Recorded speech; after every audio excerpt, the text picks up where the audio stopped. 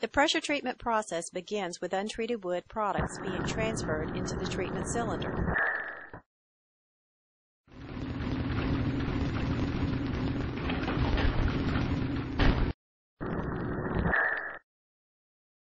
Once the wood is inside the treating cylinder, the door is closed and sealed, and a computerized process control system starts the pressure treatment process.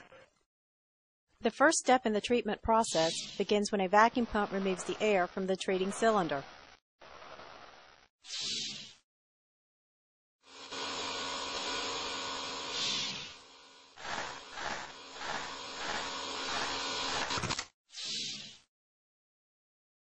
When the vacuum step is complete, the next step of the process is transferring the treatment solution from a storage tank into the cylinder.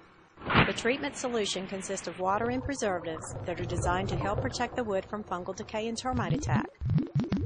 Additional treatment additives, such as color pigments or water repellents, can be added to the treating solution.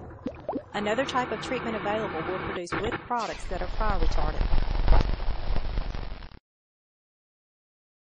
Once the cylinder is completely full with the treatment solution, the next step is to pressurize the cylinder using a pressure pump.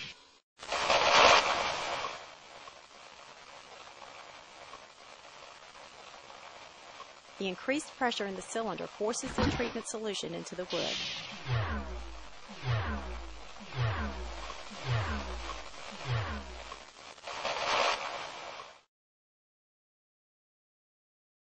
When the pressure cycle is complete, the next step is to transfer the remaining treatment solution back into a storage tank.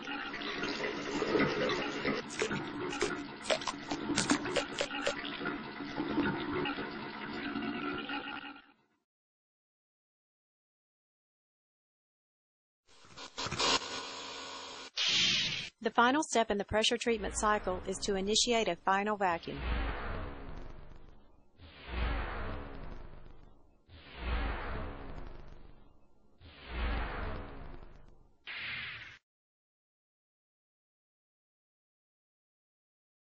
Once the final vacuum cycle step is complete, the cylinder door is opened and the pressure treated wood is removed from the treatment cylinder and the process is finished.